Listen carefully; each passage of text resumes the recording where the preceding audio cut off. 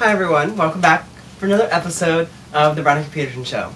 So the final movie is not going to be out in March. Um, uh, uh, and Tis the Season Part 6 had very big reveals. Um, one for, and today, and today, and today we have an interview with someone today.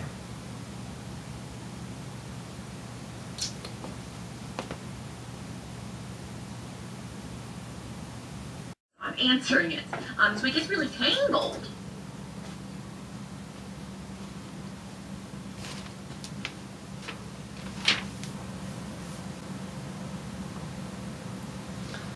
because I suggested that um,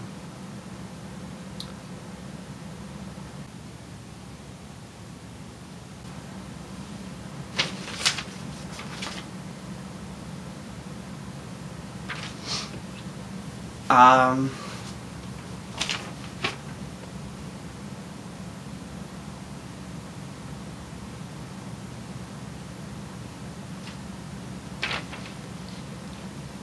we were informed that